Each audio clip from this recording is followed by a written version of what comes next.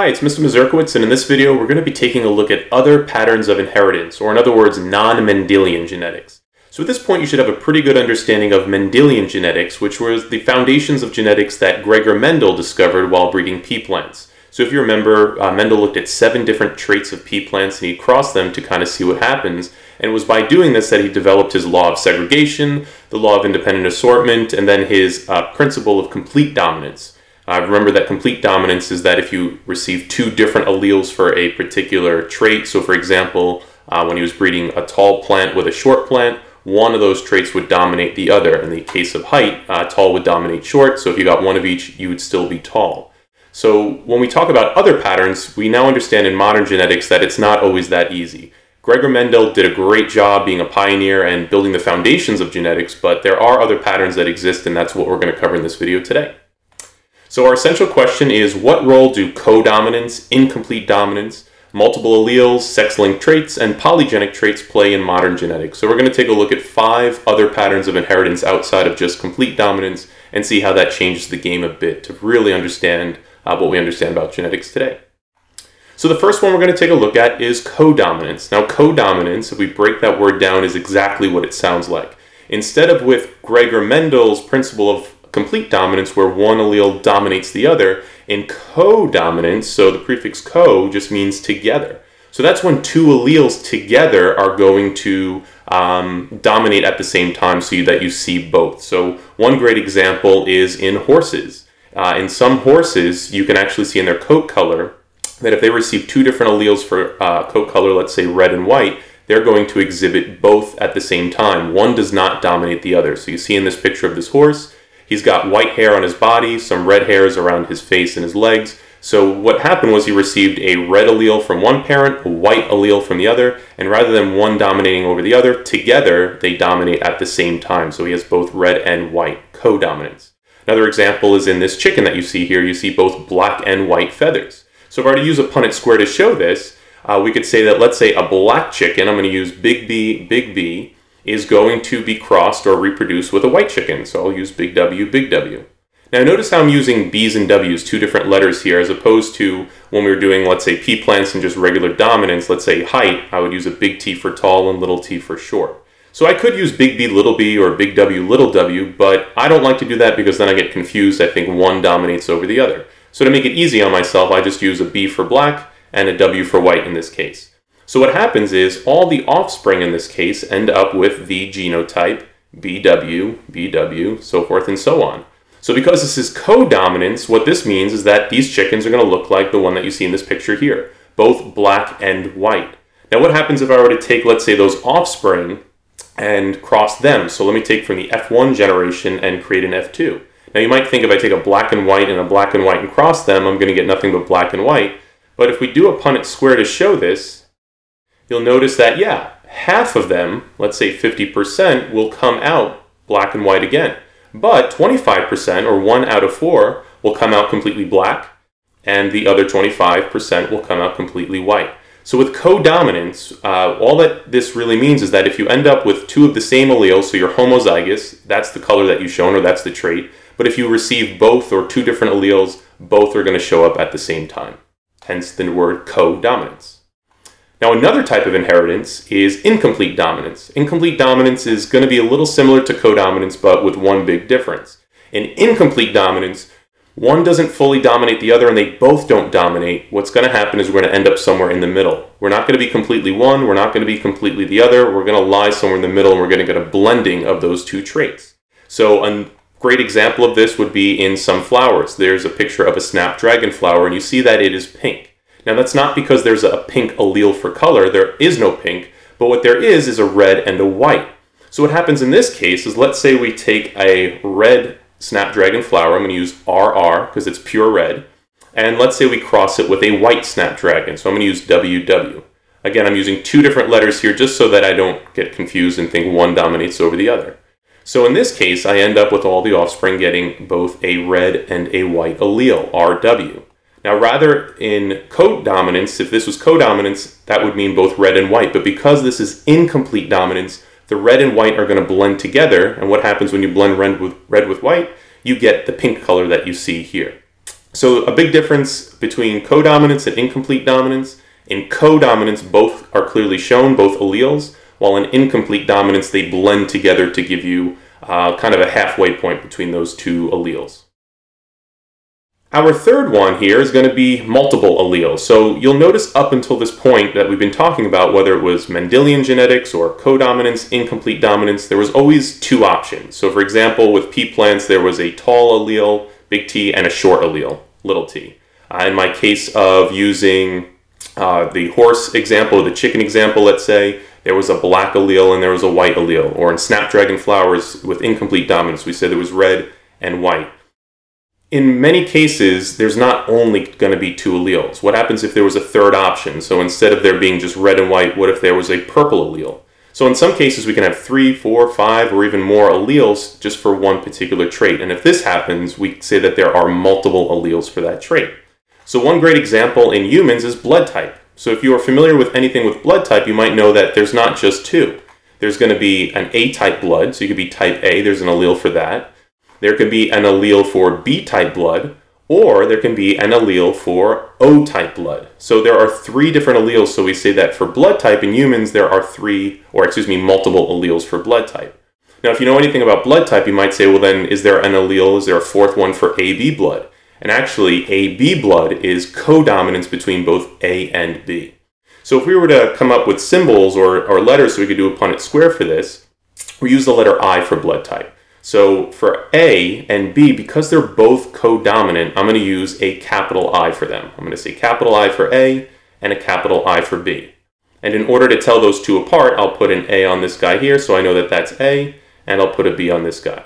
But again, because they're both codominant, I'm going to use a capital I. Now the allele for O-type blood is recessive, so I'm just going to use a lowercase i for that one.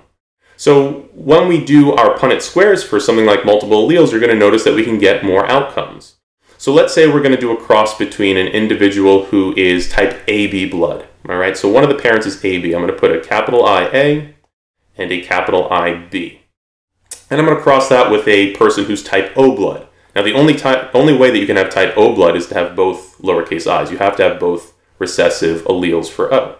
So if I do this cross, let's see what we get we get an IA with a lowercase i. So what type of blood would this person have? Well, they would have type A.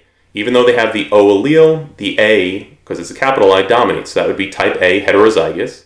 I can get an individual with type B blood heterozygous. Again, the capital I is going to overpower that lowercase i.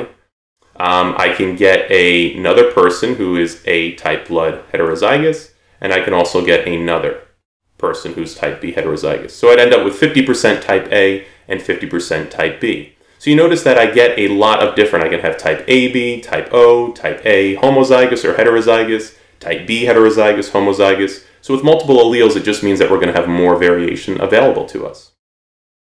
The fourth pattern of inheritance that we're going to look at is what are called sex-linked traits. So these are going to be traits that are linked specifically to the sex chromosomes. So here's a picture of a person's karyotype. Now, if you remember, we have 46 chromosomes. So here's a picture of all 46. They've been paired up with a homologous pair, so there's a total of 23 pairs. So 22 out of those 23 pairs are going to be what we call autosomes. Those are just your DNA that code for the majority of your traits. But the one I want to focus on here is the last pair, numbers 45 and 46. They are what we call the sex chromosomes. So this person in particular is a male, and the way that I know that is because their two sex chromosomes are a large X and then a smaller Y. So men have an XY when it comes to their sex chromosomes. If this is a female, females actually have two large X chromosomes. So their sex chromosomes are going to be XX. So this also explains why in our population, a human population, we have roughly 50-50 between men and women. It's because if you look at a Punnett square, if I put a female on top, put her two X's, remember she's going to give one or the other, and a male on the side, he's XY. Here's the breakdown. We have 50% of those come out as XX or females, and then the other 50% come out XY or males. So anytime that you have a kid, it's going to be a 50-50 shot between a male and a female. So when we take a look at sex-linked traits, we're going to see what happens when certain traits or disorders are linked to the sex chromosome, specifically the X chromosome. So one in particular is color blindness. Red-green color blindness is a type of sex-linked trait that is specifically attached to that X chromosome. So here in this picture, you can tell if you're red-green colorblind, you probably can't see that 74 in that picture. There's a green 74 in the center. Person with red-green color blindness can't really tell the difference between red and green, so they're not going to be able to see that image. Now, a way that we would do this to test or to do a Punnett square to predict probability is we can do a typical Punnett square, but we're gonna, because it's linked to the sex chromosomes, we're gonna use the XX and XY like we did on the previous one. In this case, color blindness is a recessive sex-linked trait. So I'm going to use a big B and little b in this case. I could use C, but I don't like to because a big C looks like a small c. So because it's recessive, I'm going to say that small b is going to be for color blindness. I'll just abbreviate that CB while big B we'll just say is for normal, it's dominant. So the only way that you can get color blindness is if you have a small b and you don't have the big B to override that or overpower it. So let's say we're going to cross a female who has one good X. So I'm going to put a big B on this one, but she does carry or has a bad X. She has that small b attached to that X chromosome. So does she have color blindness? The answer is no, because this big B on this 1X is going to override, it's dominant, it's going to dominate the bad X, so she turns out normal. But what we call her is a carrier. Why is she a carrier? Because she doesn't have the disorder, in this case color blindness, but she does carry the allele, the bad X. So she doesn't have it, but she does carry it. Now let's say we cross her with a male that has color blindness. So I'm going to put a small b on this X. So why does he have it? Well, remember, men only have one X chromosome. So this Y doesn't do anything. It's not going to override this. It's only attached to the X chromosome. So men cannot be carriers. They either have the disorder, so in this case he has the bad X, or they don't. He would have the big B on it. But he does have color blindness, so we're going to put the small b on it. So what would the chances be of them passing color blindness off to their kids? Well, if we do the first one, I'm going to get a female. I'm going to get a big B on this one and a small b. So did this, did this girl get color blindness? The answer is no. She's just like her mom. She's what we call a carrier. She has a good X and a bad X. How about this child here? Two X's, so it's a female, and she got two little b's or two bad X's, so she would be colorblind in this case. We have a male here. He's going to get the good X from mom and then just the Y chromosome, so he's a boy and not going to be colorblind, completely normal. And then here we get the bad X from mom, so I'm going to put the small b on it, and the Y, so he does have color blindness. So you'll notice, if you think about this, what does this mean for um, the amount of males versus females that will have these sex-linked traits? We say that sex-linked traits are going to be more likely to show up in men than there are in women, and that's because men only have one X chromosome. They don't get to get a second one to possibly override or act as a backup. So in color blindness, you find that about 1 in 12 men have color blindness, while about 1 in 200 females have color blindness. And that's because, again, women have two X's, they have uh, less likely to get um, this sex-linked disorder. The last pattern of inheritance that we're going to look at is what are called polygenic traits. And if we just take this word right off the bat to break it down, the prefix poly just means many and genic for genes. So these are going to be traits that are coded for by many genes, or at least more than one. Everything we've talked about up until this point has only been coded for by one gene. You might have had a few alleles for it, but in this case, we're going to have many genes coming together to code for just one trait.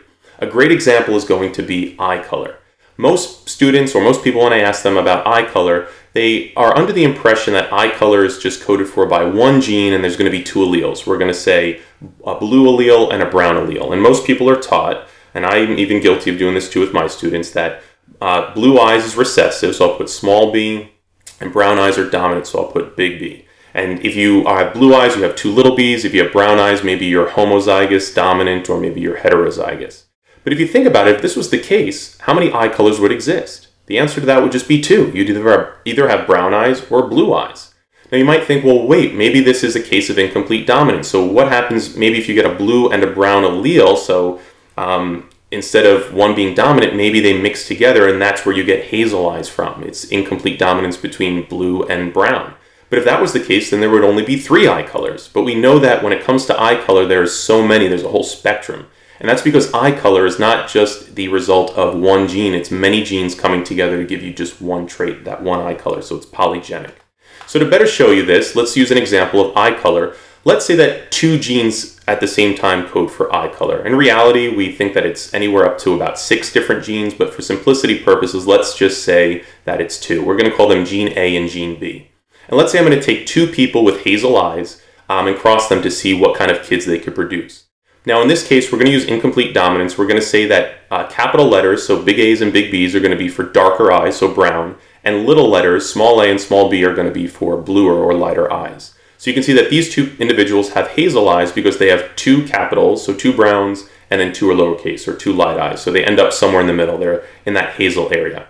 So what would happen if I cross these two people together?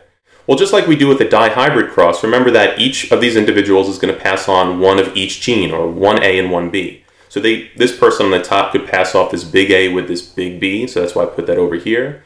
Or that big A can go with that small b, so I put that here or that little a can go with the big B, or that little a can go with that little b. So that's where I ended up with all four of these possible um, ways that they pass it off. Same thing on the left here. So if we take a look at this dihybrid cross of all the eye colors, let's see what happens. There is a 1 in 16 chance that their child has all big letters, so in other words, all dark. So they're going to have really, really dark eyes. They have nothing but dark alleles. So that would be almost like black, really dark brown eyes. There's also a 1 in 16 chance that they pass off all the small letters. This is a child that would have really, really light eyes, so really the bluest eyes you can see because they have all small letters. But you'll notice that most of these kids, there's a higher probability that the kids will receive maybe two alleles each, so they'll have that hazel in the middle. Um, maybe they'll get big A, big A, small b, small b, so these are those greens in the middle. Some of the kids will only get one dark, so this would be maybe blue eyes, but a little bit darker than the other one.